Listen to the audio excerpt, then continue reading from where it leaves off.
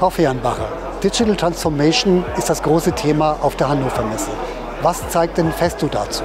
Wir schauen, wie können wir den Kunden helfen, mittels smarter Produkte produktiver bzw. effizienter zu werden.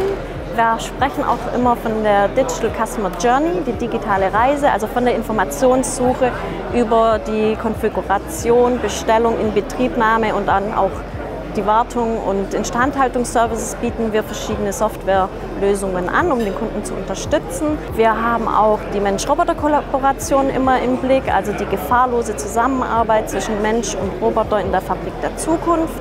Wir schauen aber auch, die Digitalisierung fordert ja auch äh, neue Technologien und äh, diese muss man ja auch anwenden können. Also stetige Lern- und Weiterbildung ist ein Thema. Die Festodidaktik bildet seit 1950 Mitarbeiter aus und äh, hat da auch eben Lernkonzepte für die Digitalisierung.